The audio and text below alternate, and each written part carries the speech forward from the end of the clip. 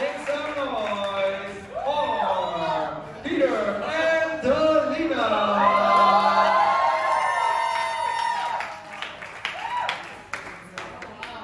Those of you that are standing near she's not very good with weapons, so be careful in case the sword comes flying in your direction.